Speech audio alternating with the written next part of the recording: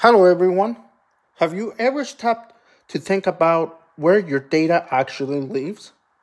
Every file you upload, every video you stream, or every message you send, it all passes through a data center. But not all data centers are the same. Some are the size of a room, others cover entire campuses and power entire countries' digital traffic.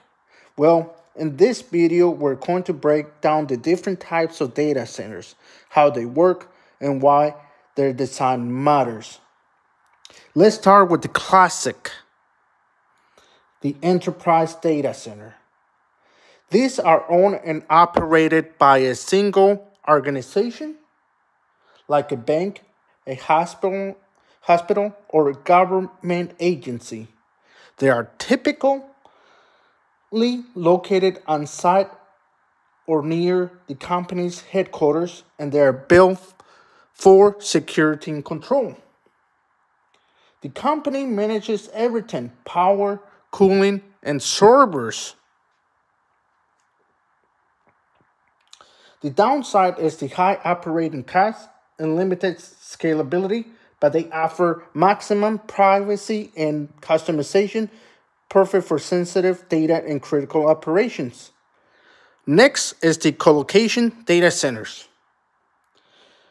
Here, instead of owning the building companies rent space, power, and cooling inside a third party facility, you bring your own servers.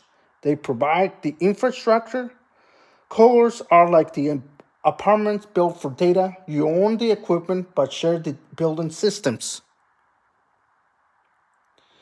This model gives the flexibility, better redundancies, and access to robust power and network connections without building your own site. Third is the cloud data centers. The backbone of modern technology. They're operated by cloud providers like Amazon AWS, Google Cloud, Microsoft Azure. User rent virtual infrastructure instead of physical space. The beauty of cloud data center is scalability. They can instantly expand to meet demand. It's what it makes streaming AI global web application possible. However, users give up direct control over the physical hardware. Fourth is the hyperscale data centers, which is the big one. These are massive automated facilities that support cloud computer and AI global scales. And last is the edge micro data centers which is the device apps require real-time processing. Data needs to be closer to users.